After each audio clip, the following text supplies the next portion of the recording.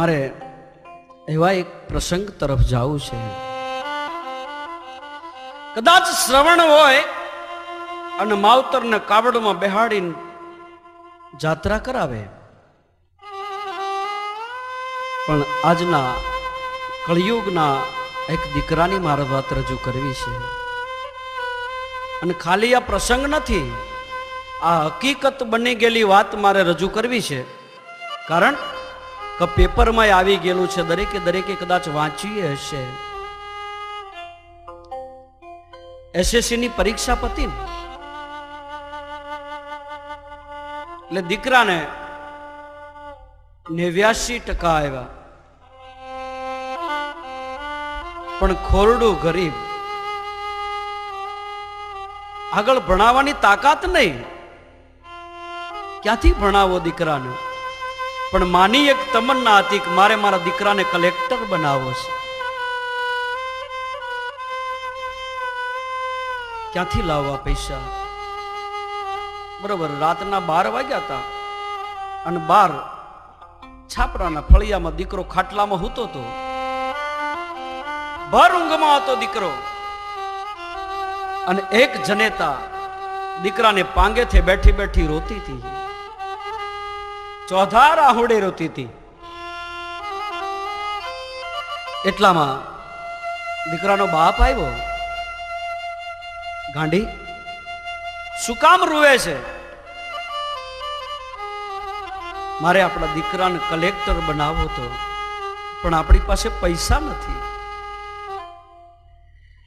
અરે ગાંડી, પૈસા એ ક્યાંથી લાવવા? આપણી પાસે એટલી પ્રોપર્ટી નથી, જમીન નથી કે ઘર નથી.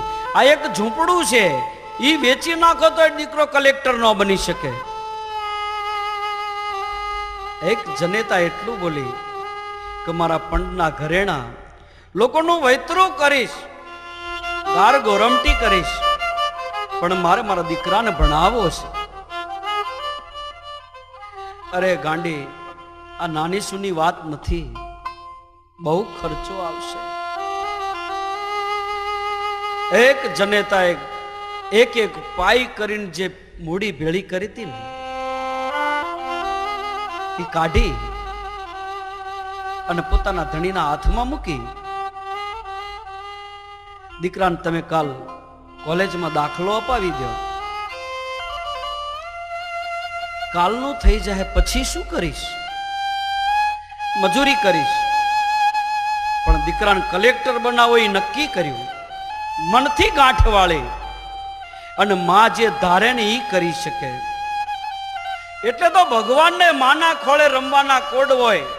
અમારો કવિ કાગ લખે કે મોઢે બોલું, માન મન હાચે નાનપણ સાંભળે પછી મોટપની મજા બધી મને કડવી લાગે કાગડા.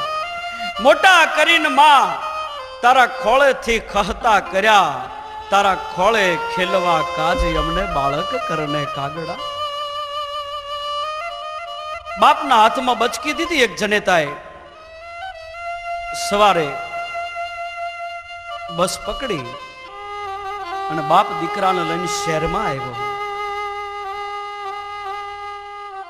ફોર્મ ભરાણા, એડમિશન બધું કમ્પ્લીટ કરી બોર્ડિંગમાં દીકરાને મૂકી અને એક ચિથરે આલ બાપ કદાચ કપડું ઓછું ને થીગડા જાજા એવા કપડા પહેરેલા. બાપ ઘીરે આવ્યો. ધીરે ધીરે દિન ગણનતા માસ ગયા. છ છ મહિનાનો ગાળો વિયો ગયો. એક દી માને રોતી ભાળી. દીકરાની માં રાત્રે રોતી હતી. ત્યારે એના ધણીએ પૂછ્યું કે હવે શું છે ગાંડી? કે મને મારા દીકરાની યાદ આવે છે. મારા રાજુને મારે જોવો છે. મેં થોડાક પૈસા મજૂરી કરીને ભેળા કર્યા છે. અને મારા દીકરાને છે ને સુખડી બહુ ભાવતી હતી. એક કામ તમે ન કરો. કાલે હું તમને થોડીક સુખડી બનાવી દઉં અને જે મેં મૂડી ભેળી કરી છે ને એ તમને દઉં. મારા દીકરાને તમે શહેરમાં જઈને દઈ આવો નહીં. સુખડીનો ડબ્બો અને જે પરચુરણ કાંઈ ભેળી કરી હતી લઈ અને એક કંગાળ બાપ શહેરની વાટે આવ્યો. દીકરો, બાર કોલેજમાં મિત્રો સાથે ઊભો તો જેવો બાપના દરવાજામાં આવતો ભાળ્યો ને, એટલે દૂર જતો રહ્યો. બાપને દૂર બોલાવ્યો.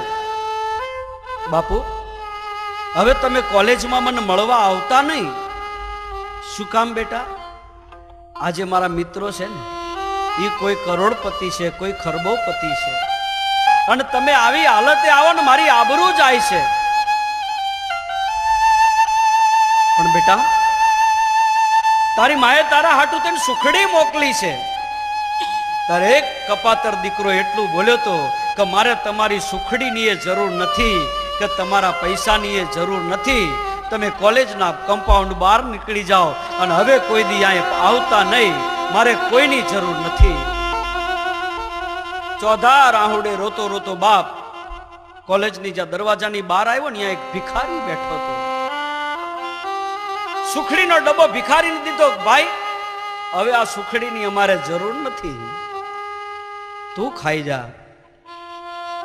પણ બાપે નક્કી કર્યું કે જો આ સમાચાર એની માને આપીશ ને તેનું હૈયું ફાટી જાય, એ મરી જાય. એક પણ શબ્દ બોલ્યા વગર બાપ ઘરે આવી અને પોતાની ઘરવાળીને એટલું કીધું કે, રાજુ, બહુ સુખી છે. એના મિત્રો બધા મને જોઈને ભેળા થઈ ગયા અને બધાએ વેચીને સુખડી ખાધી અને તને બહુ યાદ કરતો હતો. પાછા છ એક મહિનાનો ગાળો ગયો.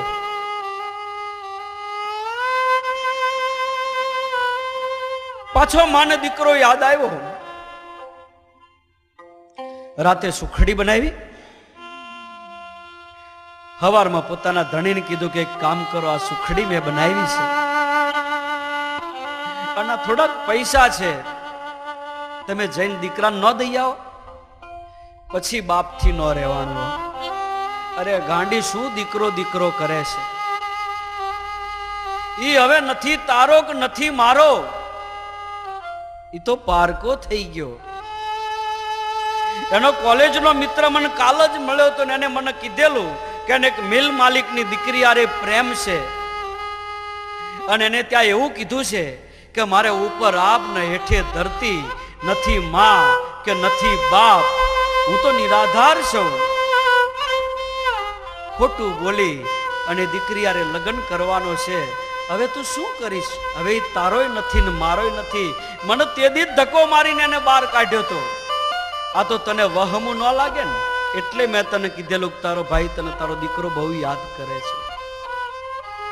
માં ભાંગીને ભૂકો થઈ ગયો અરે મારા પેટ.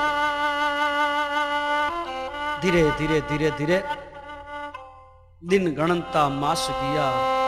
વર્ષે આતરિયા, આ સુરત બોલાણી સાહેબાન નામે વિહરિયા. ચાર ચાર વર્ષ ગળથોલિયા ખાઈને વિયા ગયા. અને સારા ટકે કોલેજમાં પાસ થયા પછી કલેક્ટરની નોકરી મેળવી. અને પૈસાદારની દીકરી હારે લગ્ન કરી અને પૂનામાં એને પોસ્ટિંગ મળ્યું. પૂનામાં નોકરી મળી. પેપરમાં ફોટા સાથે આવ્યું. મને એમ થયું કે મારો દીકરો આજ કલેક્ટર બની ગયો ધીરે ધીરે ધીરે ધીરે દીકરાના ઘરે દીકરો થયો, બીજો દીકરો થયો, બબે દીકરા રમતા થઈ ગયા. પાછો જનેતાને એમ થયું કે દીકરો કદાચ ન બોલાવે તો કાંઈ નહીં. પણ મારી મૂડીનું વ્યાજ તો એક વખત નજરે નિહાળી લો. મારા દીકરાના દીકરા મારે જોવા છે. પોતાના ધણીને બહુ આગ્રહ કર્યો કે હાલો આપણે પુના જાય. પણ ગાંડી એ તને બોલાવશે નહીં. આપણે એને જોવો નથી કે બોલવું નથી. પણ દીકરાના જે બે નાના નાના દીકરા છે ને એને જોઈને આપણે પાછા વ્યા આવશું. થોડા ઘણા મજૂરી કરીને બે માણસે જે મૂડી ભેળી કરી હતી, એ લઈને ગાડી પકડી. પુનામાં આવ્યા. કલેક્ટરનો બંગલો કલેક્ટરનો બંગલો, પૂછતા પૂછતા પૂછતા છેક દીકરાના દરવાજાના ગેટ આગળ આવીને ઊભા રહ્યા. એટલે વોચમેને રોક્યા. કોણ છો? તારા બાપ, બોલ્યો, તારા શેઠનો બાપ છો. વોચમેન કે, અમારા શેઠ કેવા તું કેવો, આવો બાપ હોય. એમ કરીને ધક્કા મારીને બહાર કાઢવા માંડે ને બરોબર એ વખતે દીકરાએ અગાશીની બારી ખોલી. દીકરાની દ્રષ્ટિ પડી મા બાપ સામે. પણ વોચમેનને એટલું કહી દીધું કે ન જાય તેને ધક્કો મારીને કાઢી મૂકજે બાકી અંદર આવવા ન દેતો. એમ કરીને બારી બંધ કરી દીધી. પણ ઈ શબ્દ બાપના કાને પડ્યો? આહા, મારો દીકરો ધક્કો મારવાનું કહે. અને હાડ બેહી ગયો હોય અહીંયા નહીં એટેક આવીને બાપ ઢગલો થઈને હેઠો પડ્યો.